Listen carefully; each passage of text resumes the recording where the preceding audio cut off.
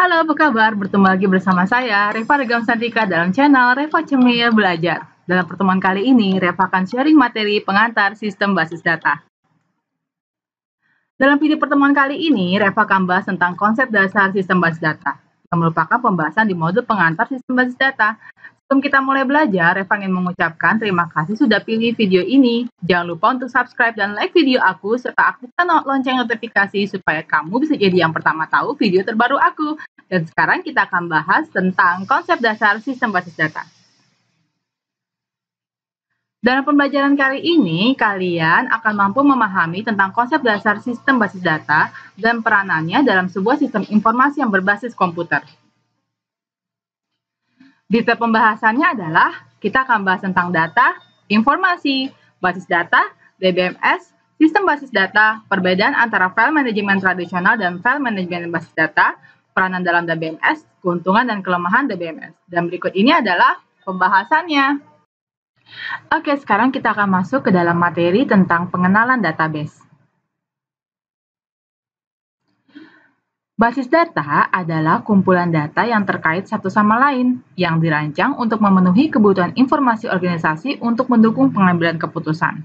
Hal inilah yang menjadikan alasan dari penggunaan teknologi basis data pada saat sekarang untuk dunia bisnis. Berikut ini adalah penggunaan aplikasi basis data di dalam dunia bisnis. Seperti contoh, bank, pengolahan data nasabah, accounting, dan semua transaksi perbankan. Untuk di bandara sebagai contoh untuk pengolahan data reservasi, penjadwalan, dan sebagainya. Nah, adakah contoh yang lain? Sebagai contoh di universitas untuk pengolahan pendaftaran, alumni, dan sebagainya. Untuk penjualan, seperti pengolahan data customer, produk, penjualan. Untuk di pabrik, pengolahan pengolahan data produksi, persediaan barang, dan pemesanan agent. Kemudian kepegawaian untuk pengolahan data karyawan, gaji, dan pajak. Telekomunikasi sebagai contohnya adalah untuk pengolahan data tagihan dan jumlah pusat. Nah, apa sih pengertian dari data? Data itu adalah fakta tentang sesuatu di dunia nyata yang dapat direkam dan disimpan pada media komputer. Atau juga bisa dikatakan sebagai kumpulan fakta tentang suatu objek atau aktivitas dan transaksi yang tidak mempunyai makna atau tidak berpengaruh secara langsung kepada pemakai. Sebagai contoh, misalkan kita punya angka 6,30, angka 27, 6,32, 28, 6,34, 27. Uh, ini semua tidak ada artinya. Dan data bisa juga berupa teks, grafik, citra, suara, atau bahkan video. Nah, informasi itu adalah kumpulan data yang sudah diolah atau diproses untuk pengambilan keputusan. Contohnya adalah data yang dikumpulkan dari sensus digunakan untuk menghasilkan berbagai jenis informasi. Pemerintah dapat menggunakannya untuk menentukan tingkat melek, melek huruf di negara ini. Pemerintah dapat menggunakan informasi dalam keputusan penting untuk meningkatkan tingkat melek huruf. Nah, jadi perbedaan data dan informasi itu apa? Kalau data sifatnya masih mentah, kalau informasi hasil olahannya lebih berguna. Data digunakan untuk pengolahan lebih lanjut, sedangkan informasi digunakan untuk acuan pengambilan keputusan. Kemudian data masih mentah, harus diolah, ada yang rapi karena disimpan di gudang atau acak-acakan sampai harus ditambang. Informasi adalah memiliki nilai guna, ada pihak yang memberikan, ada pihak yang menerima, kontennya relevan dengan penerima cenderung disajikan dengan kompleks dan menarik. Nah, bagaimana sih contoh data? Seperti contohnya seperti ini. Nah, ini disebutnya sebagai data karena kita tidak tahu 03, 2014, 2015, kemudian O-nya itu apa, angka 119 itu apa, kemudian ada angka-angka di sini dan ada kelompok. Nah, kemudian data tersebut diolah menjadi informasi. Nah, hasilnya adalah eh, tabel-tabel uh, yang seperti yang di atas di contoh data itu nanti akan berubah menjadi jadwal kuliah. Oke, berikutnya kita akan bahas tentang Database Management System. Database Management System (DBMS) adalah perangkat lunak yang memungkinkan pengguna untuk mengidentifikasikan, membuat, memelihara, dan mengontrol akses ke database. Ini memungkinkan pengguna untuk mendefinisikan base data melalui DDL (Data Definition Language). DDL memungkinkan pengguna untuk menentukan tipe data dan struktur dan batasan pada data yang akan disimpan dalam database. Di dalam DBMS, kita bisa memiliki kemampuan untuk menyisipkan, insert, memperbaharui update, menghapus, delete, dan mengambil data retrieve dari database melalui DML, Data Manipulation Language. Untuk mengontrol akses ke database dengan menyediakan sistem keamanan security yang mencegah pengguna tidak sah mengakses database, sistem integritas yang menjaga konsistensi data yang disimpan, kemudian sistem kontrol concurrency, kontrol yang memungkinkan akses berbarengan dari database.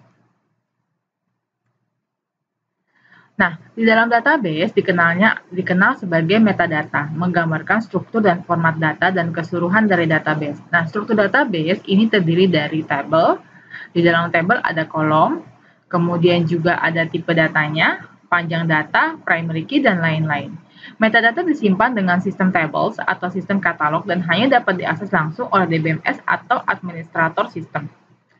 Nah, contoh dari metadata sebagai contoh, misalkan kita bisa menggunakan Microsoft Access, kita bisa lihat dari do database dokumenter, tools menu, pilih analyze, lalu dokumenter. Tool ini mencari tabel sistem untuk memberikan semua macam metadata untuk tabel, form, query, dan lain-lain. Oke, berikutnya kita akan masuk ke dalam file manajemen tradisional versus file manajemen basis data. Oke, sistem pemrosesan file adalah kumpulan program aplikasi yang melakukan layanan untuk user, seperti produksi laporan, setiap program mendefinisikan dan mengolah datanya sendiri. Dan seperti contoh, kita di sini ada dua komputer yang memiliki program aplikasi masing-masing untuk mengolah filenya masing-masing. Oke, sebelumnya sistem yang digunakan untuk mengatasi semua persoalan bisnis menggunakan pengolahan data secara tradisional dengan cara menyimpan record-record pada file-file yang terpisah, yang disebut sebagai sistem pemrosesan file, di mana masing-masing file diperuntukkan hanya untuk satu program aplikasi saja. Nah, berikutnya adalah pendekatan berbasis database. Nah, pendekatan berbasis database adalah kumpulan data yang terkait secara logis dan deskripsinya dirancang untuk memenuhi kebutuhan informasi organisasi. Sebagai contoh di sini kita punya dua program aplikasi, ada program aplikasi mahasiswa dan program aplikasi mata kuliah. Dan keduanya ini memiliki database yang sama, yaitu adalah basis data universitas yang diakses melalui DBMS-nya, Database Management System. Nah, sekarang apa sih perbedaannya antara file manajemen tradisional dan file manajemen database? Yang pertama adalah file manajemen tradisional, dia sifatnya adalah program data dependence. Di sini, sebagai contoh, perubahan pada struktur di dalam database itu akan sulit sekali dilakukan karena kita harus membuat programnya lagi. Nah, program dijalankan hanya sekali dan kemudian bisa saja dibuang. Dan programmer perlu mengidentifikasikan semua program yang berpengaruh. Kemudian, kalau file manajemen database sifatnya adalah data oriented. Nah, data oriented ini adalah susunan data atau organisasi file pada database yang dapat dirubah begitu pula strategi aksesnya tanpa mengganggu program aplikasi yang sudah ada. File manajemen tradisional sifatnya kaku, manajemen database sifatnya luas, luas. Kemudian file manajemen tradisional banyak terjadi kerangkapan data, kalau file manajemen database tidak terjadi kerangkapan data. Kelemahannya adalah untuk file manajemen tradisional timbul data yang rangkap dan tidak konsisten datanya. Data tidak dapat digunakan secara bersama-sama. Kesukaran dalam mengakses data tidak fleksibel dan data tidak standar. Kemudian kalau file manajemen database ada storage yang dibutuhkannya besar, dibutuhkan tenaga spesialis, softwarenya mahal, kerusakan pada database dapat mempengaruhi departemen yang lainnya. Sekarang kita akan bahas tentang peran DBMS. Nah, DBMS ini berarti kita membutuhkan sebuah basis data. Nah, basis data adalah sekumpulan data yang terintegrasi yang diorganisasikan untuk memenuhi kebutuhan para pemakai di dalam suatu organisasi. Nah, basis data tersimpan di dalam DBMS atau Database Management System ini adalah perangkat lunak atau software yang memungkinkan pengguna untuk mendefinisikan, membuat, memelihara, dan mengontrol pengaksesan ke basis data. Nah, sebagai contoh di sini user apabila ingin mengakses database yang terdapat di dalam hardware-nya, maka dia, dia tidak bisa langsung mengakses, maka dia membutuhkan database application yang terhubung ke database management system DBMS-nya. Nah, komponen DBMS ini terbagi jadi tiga bagian. Ada mesin, ada bridge, dan ada human. Nah, mesin ini terdiri dari hardware dan software. Perangkat kerasnya sudah tahu kan, pasti adalah yang dibutuhkan adalah memori dan tempat penyimpanan disk agar DBMS-nya bisa berjalan. Nah, piranti lunaknya berarti DBMS-nya itu sendiri, program aplikasi yang bersama-sama dengan sistem operasi dan juga piranti lunak jaringan apabila DBMS-nya digunakan melalui jaringan. Kemudian ada data nih. Nah, data ini adalah komponen yang paling penting di dalam DBMS karena si data ini yang nantinya akan dimasukkan ke dalam si DBMS. Nah, datanya terdiri dari ada data operasional dan juga ada metadata. Nah, bagaimana dengan human? Nah, di human ada dua bagian. Ada prosedur, ini adalah instruksi dan aturan yang digunakan untuk merancang dan menggunakan basis data. Nah, untuk bisa mengakses database di dalam hardware, maka kita membutuhkan perintah-perintah atau instruksi yang digunakan untuk bisa mengakses database-nya. Nah, perintah-perintahnya ini bisa juga disebutnya sebagai query. Nah, pengguna, pengguna itu adalah terdiri dari database administrator, ada database designer, ada application developer, dan pengguna akhir atau end user-nya. Nah, pengguna di sini disebutnya sebagai yang pertama adalah database database administrator. Ini orang yang bertanggung jawab untuk bisa realisasi fisikal dari basis data, termasuk desain fisikal basis data. Dia juga mengimplementasikan kontrol manajemen dan integritas, memelihara sistem operasional, dan memastikan kepuasan performa aplikasi untuk user. Dan ada database designer. Nah, database designer ini adalah logical database designer yang mengidentifikasikan data, relasi antar data, dan batasan pada data yang akan disimpan di dalam basis data. Ada juga nih physical database designer. Ini memutuskan bagaimana perancangan basis data logical secara fisikal ini bisa direalisasikan. Nah, berikut ini adalah contoh dari skema logis yang dilakukan oleh si database logical database designer. Nantinya dia akan membuat uh, tabel-tabel di mana setiap tabel-tabelnya itu dia definisikan field-fieldnya. Ada field customer ID, field customer name, gitu ya. Kemudian dia membentuk uh, tabel customer, tabel order, tabel order line, dan produknya. Kemudian dia mendefinisikan dari setiap field-fieldnya, ya, itu mana yang bersifat sebagai primary key dan mana yang bersifat sebagai foreign key. Nah, setelah itu, uh, setelah membuat database secara uh, skema logisnya secara logikal, berikutnya adalah si physical database designer menerjemahkan ya dalam bentuk logical seperti ini ke dalam bahasa yang disebutnya sebagai bahasa SQL. Nah, ini adalah uh, tugas dari physical database designer. Nah, Berikutnya adalah agar user bisa mengakses database, maka perlu dibuatnya sebuah program aplikasi yang dibuat oleh application developer. Kemudian pengguna akhir end user ini terdiri dari dua jenis. Ada naive user adalah user yang belum terbiasa untuk menggunakan DBMS. Dan biasanya aksesnya ini menggunakan program aplikasi. Ada juga yang disebutnya sebagai sophisticated user. Ini berarti user yang canggih, sudah mengenal struktur dari basis data dan fasilitas yang ditawarkan oleh DBMS, dan mungkin sudah menggunakan bahasa query tinggi seperti SQL untuk melakukan operasi yang dibutuhkannya. Oke, berikutnya kita akan masuk ke dalam pembahasan keuntungan dan kerugian dari penggunaan DBMS. Nah, yang pertama itu adalah kontrol redundansi data atau pengulangan data. Nah, pendekatan basis data ini mencoba menghilangkan redundansi dengan mengintegrasikan file sehingga banyak data yang sama tidak disimpan. Kemudian, masalah konsistensi data. Nah, dengan menghilangkan dan mengendalikan redundansi dapat mengurangi risiko ketidakkonsistenan yang terjadi. Kemudian, lebih banyak informasi yang dapat yang didapat dari jumlah data yang sama dan juga bisa dat dan juga bisa di-sharing. Nah, database milik organisasi dapat digunakan oleh semua user yang berwenang. Selain itu, aplikasi baru dapat dibuat dengan data yang ada dalam database. Kemudian meningkatkan integritas. Integritas basis data mengacu pada validitas dan konsistensi dari data yang disimpan. Integritas biasanya disimpan dalam bentuk rule, yaitu aturan konsistensi yang tidak diizinkan dilanggar pada basis data. Kemudian meningkatkan keamanan data. Keamanan basis data adalah perlindungan basis data dari pengguna yang tidak sah.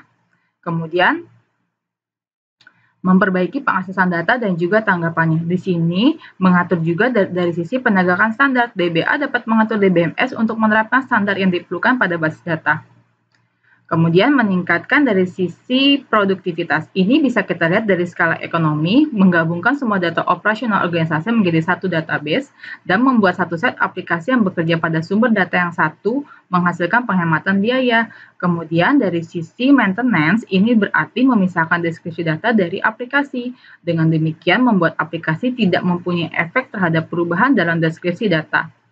Peningkatan konkurensi ini berarti jika ada dua atau lebih pengguna diizinkan untuk mengakses file yang sama secara bersamaan, ada kemungkinan aksesnya akan saling mengganggu, mengakibatkan hilangnya informasi atau bahkan hilangnya integritas. Banyak DBMS yang mengolah akses database bersama dan memastikan masalah tersebut tidak dapat terjadi. Kemudian memperbaiki layanan backup dan recovery. DBMS menyediakan fasilitas backup dan pekerjaan yang telah terjadi sejak backup ini hilang dapat dimasukkan kembali. DBMS menyediakan fasilitas untuk meminimalkan jumlah pemrosesan yang hilang setelah kegagalan. DBMS juga menyediakan pemulihan base data jika terjadi kerusakan. Dan berikut ini adalah kerugiannya. Dari sisi kerugiannya, yang pertama adalah kompleksitas.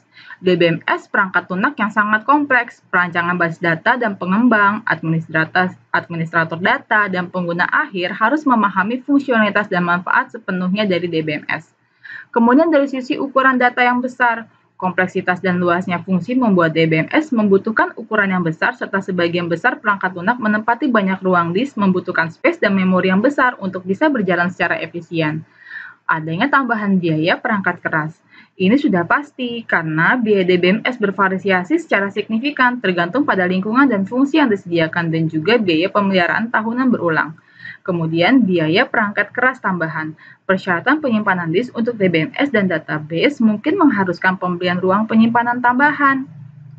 Kemudian dari sisi biaya konversi, biaya yang besar juga diperlukan untuk biaya konversi apa aplikasi yang ada untuk berjalan pada DBMS dan perangkat keras yang baru seperti biaya pelatihan staf, menggunakan sistem yang baru, mungkin mempekerjakan staf spesialis yang membantu untuk konversi dan menjalankan sistem.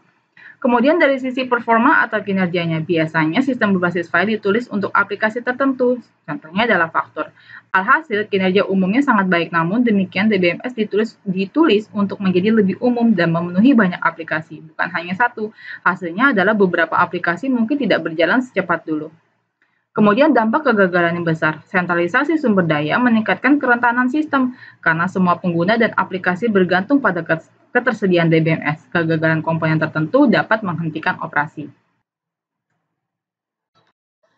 Oke, dengan berakhirnya pembahasan tentang keuntungan dan kerugian DBMS, maka selesai pula lah penjumpaan kita untuk pertemuan kali ini. Jika ada saran atau ada yang ingin tanyakan, silakan tinggalkan komen di bawah.